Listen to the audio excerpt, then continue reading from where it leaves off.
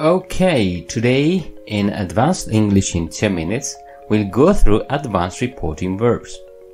When we want to report a sentence, we always use the verb to say.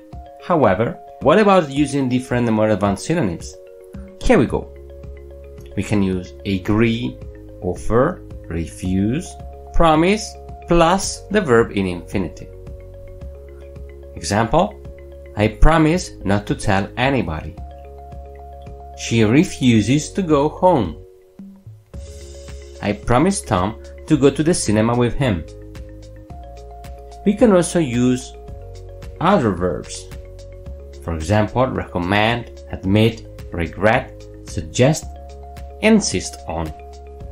In this case, the verb will need the ing.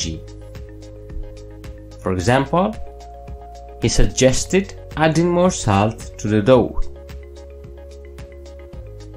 He regrets working so hard. Okay, if you like this video, share it or hit the like button. Bye! Created using Powtoon.